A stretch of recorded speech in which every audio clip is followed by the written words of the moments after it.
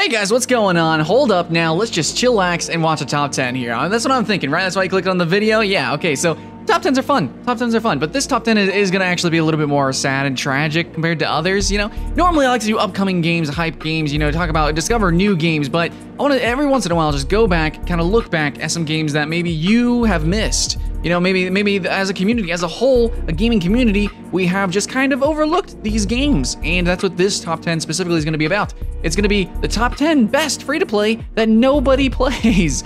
Yeah, truly tragic here indeed. These are 10 games that I personally have played and found extremely enjoyable. I think many people really have had fun with these games and left for one reason or another, and they just didn't work out. For some reason, they're just not really being played right now and completely at risk of being canned completely. In fact, there's a lot of games that I when I was making this list and uh, I had to take them off the list because they actually did get canceled.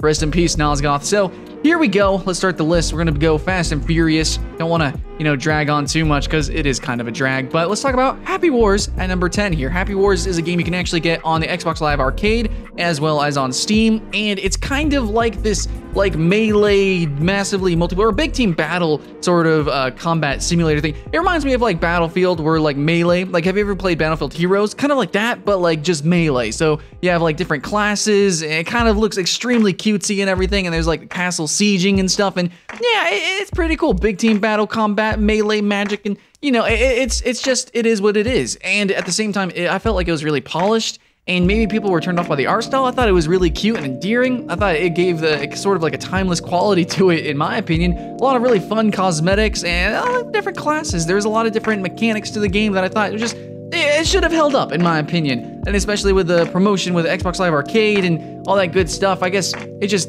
I don't know. It just wasn't what people were looking for. In fact, a lot of games in that vein, that sort of like melee combat simulation, big team battle simulation, really haven't uh, turned out that great. And I was thinking maybe the free to play version of that genre would do great, and it just didn't. So tragic. Next up, we have Gotham City Impostors. Gotham City Impostors was definitely right on the heels of Team Fortress 2, definitely completely in vain, and there were many games coming out that were really trying to go for this uproarious, comical action uh, with, you know, first-person shooters. Sort of supposed to be like this team-based shooter thing, and this was in the heyday of Call of Duty, so a lot of people were playing Call of Duty games or Counter-Strike-like games, so a lot of serious games, and Team Fortress 2 really held down the fort with being cartoony. Now, a lot of YouTubers were getting into these cartoony games, and I know Gotham City Impostors sponsored a lot of streamers and YouTubers, but for some reason, like, they just didn't keep up with the polish, I think. Like, it just couldn't keep up with Team Fortress 2, for one, and then the competitive scene with all these other games. It, it just didn't work out. They kind of just fell through the cracks. They were just too casual, and of course, their art style, you know, made it abundantly clear that they were trying to aim for a casual crowd. But still, you know, people just, they didn't play it. I, I don't know. I don't know. It was just probably missing one mechanic or two, uh, a couple of polished features. Just there was just missing a few things, and it was just you know they came. These kind of games came out during a very competitive time, and so they just kind of have been on the back burner ever since, and have been burning slower and colder. Next game I want to talk about is APB Reloaded. APB Reloaded, in my opinion, probably had one of the worst launches ever, but it really, I think, rectified the situation. It became a really fun game, and I played it a couple of times. It's very interesting. It's basically Grand Theft Auto Online before Grand Theft Auto Online was a thing. Now, honestly, Grand Theft Auto is a much deeper, bigger game, but still, even though I own Grand Theft Auto 5, I still every once in a while want to jump into APB Reloaded because it is a free-to-play game. It does have really cool, fun customization and really easy to jump into and jump out gameplay with open world questing that is completely PvP focused. It, it's decent. I, I know that it has problems and it has had a, a, a, really rough launch, but still, it was a cool game. It is a good game. It's got some of the best character customization I've ever seen. It's got some really interesting social mechanics, and yet it doesn't matter. This completely social game kind of is waning because there's not too many people playing it, so it's not that social anymore. Ah. Next game I want to talk about is Dragon Nest.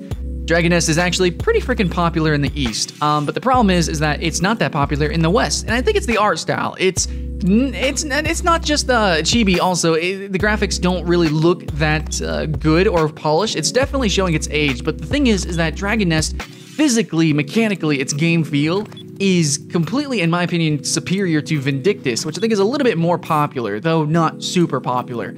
Uh, Dragon Nest is really more of an online action RPG that has some of the most intense physics-based combat that I have ever experienced. Its dungeons are extremely challenging, and I think there might be some complaints with endgame pay to win. I, I don't really know or feel those complaints, and the arenas are always interesting to play. I really love the team-based combat, and the classes were really interesting as well. You actually have like this class dynamic where you can split off into different branches. You know, you start as a warrior, and then you can go with uh, different like a swordsman, or you can use a hammer, like a mercenary, and then you have all these different classes that are extremely unique. I wouldn't, I don't know if you can even call them classes. They're more like characters. They're they're very unique. Uh, and the customization is still there. I mean, yeah, but it's a little bit limited. But because of the unique classes, or what I would consider characters, you have very unique physical interactions inside the game world and different party members. Uh, it's very enticing, I think, to Eastern players, but I think Western players really like much more customization with their classes and overall prefer an open, more open world. So, but as an online action RPG, it is truly fantastic. In my opinion, absolutely has the best action combat in any game. Next, let's talk about Dirty Bomb. This is actually an incredibly recent game. Most of these on the list are going to be older games. Dirty Bomb kind of just came out, but nobody's really playing it because it's kind of marketed as a hero shooter, and there are other free-to-play hero shooters that I think are really abysmal, uh, and then there are some coming out that are really good, and Dirty Bomb is a good game. Obviously, it's on this list. It's a really good game. I think it's actually pretty polished, but it made some design decisions that, uh, whereas kind of, it, it really fluctuated the game state just too dramatically. So there was a lot of hardcore players, a lot of streamers, a lot of people who are playing Dirty Bomb, getting ready for Overwatch, um, and they also, there's a couple of other games, like Black Ops 3 is a new hero shooter, and then the new um, Rainbow Six. A lot of people were playing Dirty Bomb because they kind of thought it was, you know, it'd be like practice, you know, different characters, different kits, stuff like that. And then people started falling in love. However, the de developers kind of made some decisions that changed a lot of the mechanics that we liked, um, trying to rectify things that we didn't like, and it just, in the end, kind of felt really weird. Also, the payment scheme, uh, collecting the cards and everything, also kind of felt weird overall. Like, Dirty Bomb just made a lot of small decisions that kind of rubbed its community the wrong way, and so its community dwindled. But overall, it's still a really great game. In, in fact, right now, it might be in an amazing state, uh, other than the fact that not many people play it. Okay, now here's an older FPS. This is actually during the heyday, uh, in my opinion, of when free-to-play games were coming out with really crazy original ideas uh, consistently. Like this was going to be when free-to-play games was like the next big thing. Like AAA free-to-play games were coming out, and Blacklight Retribution was going to be one of those games. Now you can play this game on PS4, and it's more or less kind of like the same game. It's actually, in my opinion, completely playable on consoles. Now, I played it on PC and I have hundreds of hours in the game, and yet, even though I have hundreds of hours in this game and I, this is the first free-to-play game I ever spent money on, I still do not have a completely loaded out character. That is how expensive it is to even get one single character, you know, geared up to play the game competitively. It has the most amazing customization of your character, of your weapon that I've ever seen in any game, period, AAA or not. And yet, because it costs so much, you don't really get to access that. It's got a it's got really amazing mechanics, and other than Quake, it's probably the best free-to-play game to actually play 1v1 because of the whole visor thing where you can see through walls. Just makes it really fair, anti-camping. There's so much customization. The team play is amazing. Um, there's really unique game modes with its like siege game mode, which is like payload, except you actually man the tank as you push it. Uh, dude, there, there's so many unique facets to this game, and even now, it still kind of looks decent, especially if you play on PS4. It definitely has parity with other free-to-play shooters on there, or just shooters, period. It looks decent. The problem is that nobody freaking plays it, probably because it's too expensive. And now here's a game that I am completely, like, flabbergasted. I, I have no idea why, if it's failing or failed, uh, there's it's called Hawken. Now, when Hawken was first coming out, this was at the same time as Blacklight Retribution and some other free-to-play games like I've been talking about. Um, this just like it blew up so bad because it was it was really graphically amazing, and everyone wanted to play it. But it like I don't know, like people jumped into it and then they felt uncomfortable because see, here's the thing: it looked amazing. And like it's cool to watch gameplay kind of, but when you're actually playing the game, you get a little bit of a disorientation because it's it's a mech game, but it's actually it definitely is a FPS, and it's kind of like a Call of Duty FPS. But you're like in this tank, and it limits your FOV, and you move really slow and sluggish, and so it doesn't. I mean, it, it definitely focuses on a weird niche, but it was kind of marketed as a mech game, and then some people thought it was going to be like a super fast-paced shooter, but it's really not either of those. Kind of like it's not slow and strategic and tactical like maybe something like MechWarrior might be. Uh, it's somewhere in between. It really rubbed people the wrong way. Um, but it looked so good. It has a lot of originality, and I think if you can get into some games and play with that niche audience, you will have some fun. The problem is, is that this could have been such a big game uh, if they just kind of marketed it a little bit better and maybe fine-tune some game modes to really promote the mechanics that the game really should have been promoting versus, you know, uh, either slow-paced gameplay or fast-paced gameplay when it's really sitting in between. Should have really focused on objective type uh, game modes versus deathmatch.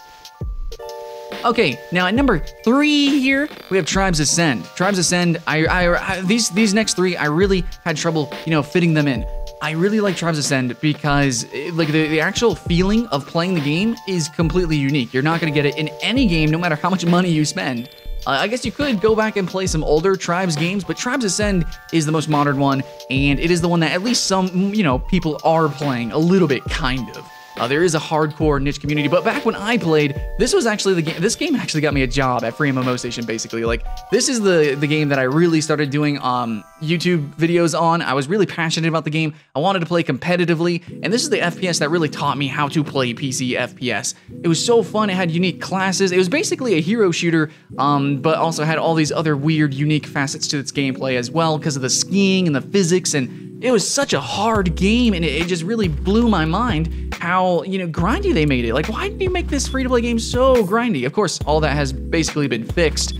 Um, and the balance is probably better than ever, and its performance is better than ever, probably. But it's just Hi-Rez had a lot of issues with their monetization with their previous games, and then Tribes Ascend. It was almost great. Um, it got a lot of publicity, especially because of TotalBiscuit covering it, but it just you know, they, they just didn't get it quite right. Now with Smite, they rectified it instantaneously. The Smite free-to-play model is perfect. Smite, you know, is not a perfect game, but the you know who they're the audience that they're targeting and their monetization is perfect.